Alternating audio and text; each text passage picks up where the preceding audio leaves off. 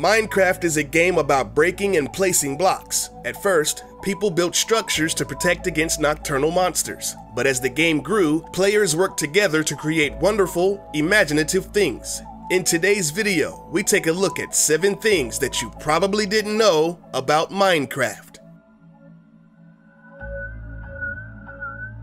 The yellow lines of text in the title screen are called splash text. They're randomly chosen from a list embedded in the code of the game. Not only does it remind you to call your mother, but it also features obscure and sometimes cryptic references to popular culture. One splash reads, All is full of love, which is a direct reference to Bjork's 1999 single of the same name.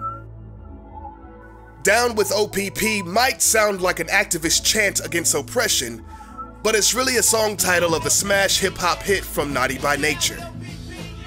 You may think that Notch wants you to literally put that cookie down, but really it's a reference to Arnold Schwarzenegger's 1996 Christmas comedy, Jingle All the Way.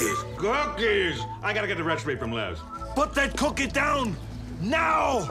Daniel Rosenfeld is a musician and sound engineer and is the sole composer and sound designer for Minecraft.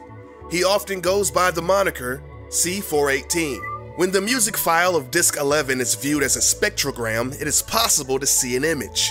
Now, without getting too technical, a spectrogram is a visual representation of a spectrum of frequencies in audio.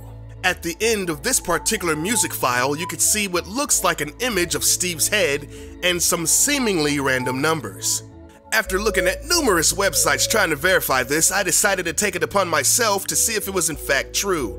So I opened up Adobe Audition, which has a built-in spectral frequency display, and sure enough, there it is. Steve's head and the number 12418. At first the numbers were unassuming, but the number 12 equals C in hexadecimal. And with the corresponding 418, you have a truly spectacular way of adding a visual signature to an auditory work.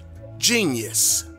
Out of all the mobs in the game, the Creeper is arguably the most recognized Minecraft creature. But the design of the character was actually a mistake. The Creepers were based off a failed model of a pig. The length and height of the pig model were accidentally inverted, resulting in a tall midsection with small legs. In an interview, the creator of Minecraft, Markus Notch Persson, said, quote, I don't have any modeling programs to do the models, I just write them in code.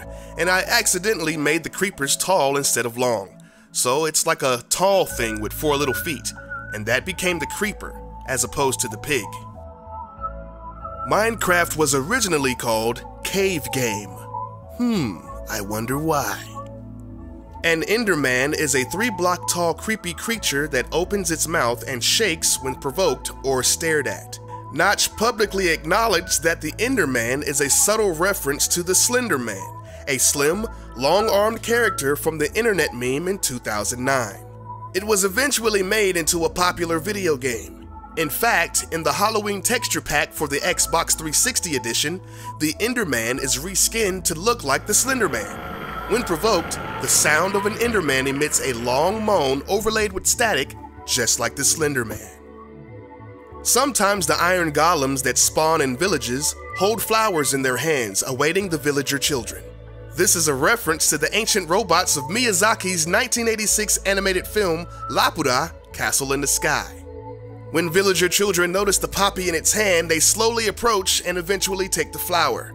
Also, the iron golems are covered in vines, just like the giant plant covered robots of the movie.